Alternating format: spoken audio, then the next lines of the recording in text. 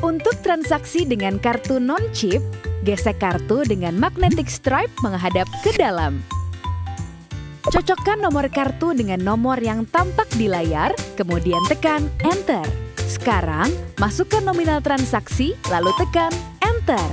Untuk customer yang menggunakan kartu debit BCA, persilahkan customer memasukkan PIN, lalu tekan Yes. Maka EDC BCA akan mencetak dua lembar struk.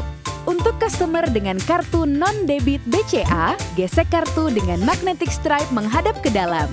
Persilahkan customer memasukkan PIN, lalu tekan Yes. Selanjutnya, EDC BCA akan mencetak satu lembar struk untuk merchant dan satu lagi untuk customer.